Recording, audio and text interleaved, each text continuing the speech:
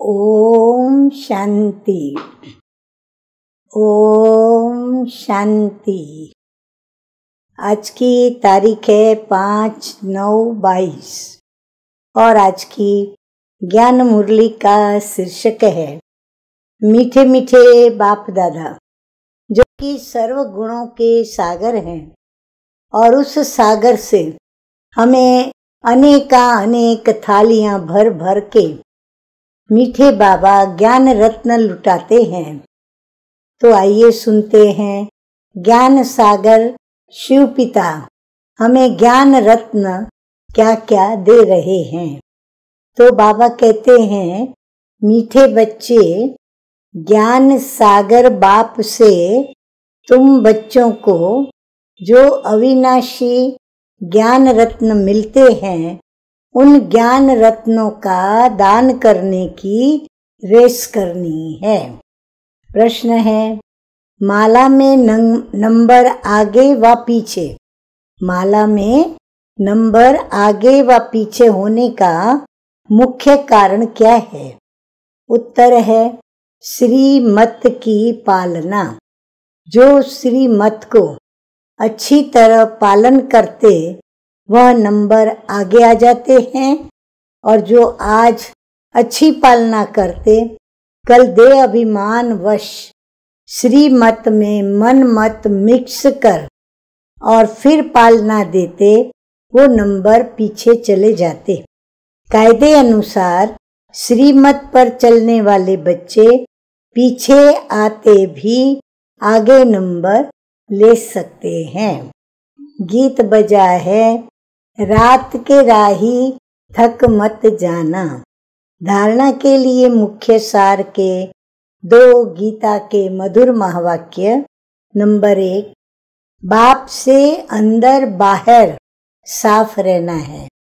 कोई भी भूल हो जाए तो फ़ौरन क्षमा मांगना है। रूहानी, जिस्मानी, दोनों प्रकार की सेवा करनी है। नंबर दो, कोई भी ईर्ष्या के कारण एक दो का परचिंतन नहीं करना है। कोई किसी के प्रति उल्टी सुलटी बातें सुनाए तो सुनी, अनसुनी कर देना है। वर्णन करके किसी की दिल खराब नहीं करनी है।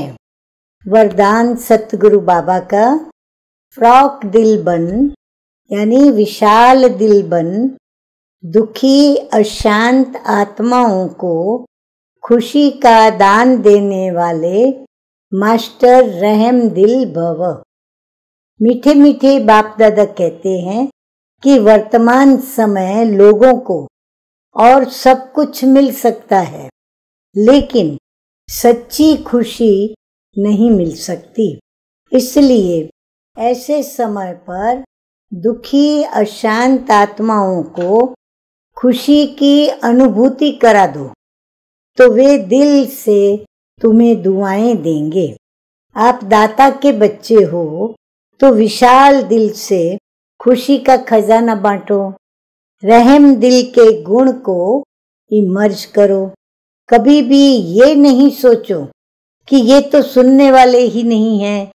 भले कोई अपोजिशन भी करे तो भी आपको रहम की भावना नहीं छोड़नी है।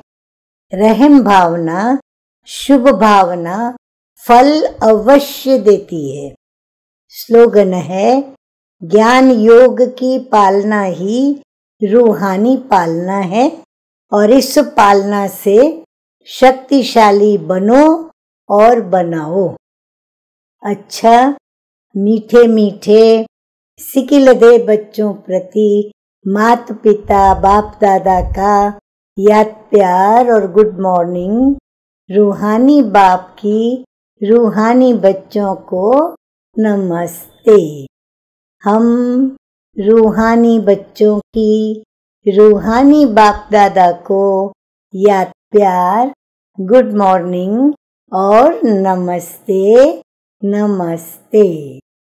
ओम शांति।